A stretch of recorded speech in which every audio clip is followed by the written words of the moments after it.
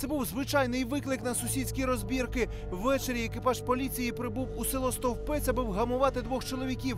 Один розбив щелепу іншому і продовжував буянити.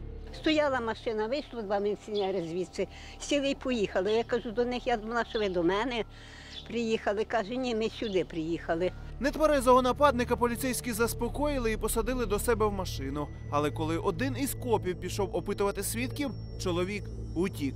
Коли здавалося б, конфлікт було вичерпано, озвірілий нападник повернувся. Із собою він мав ось такі от вила. А ще за мить його жертвою став поліцейський. Він проштрикнув копу груди та влучив у голову. Усе сталося так швидко, що зупинити нападника не встиг ані напарник постраждалого копа, ані селяни. Прохрумив вилками. Все.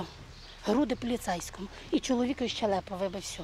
Після цього нападник накивав п'ятами, але вже невдовзі його вистежили та затримали. Зараз чоловік в ізоляторі тимчасового тримання. Йому інкримінують посягання на життя поліцейського. Ця особа не виконала вимогу працівника закону, покинула салон службового автомобіля, тим самим втекла з місця події.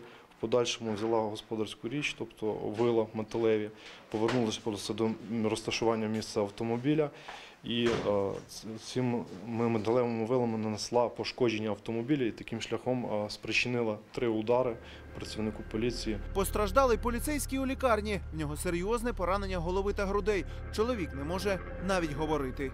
Виявлено забій головного мозку з крововиливом. От рішається питання про перевід його на подальше лікування нейрохірургічне відділення.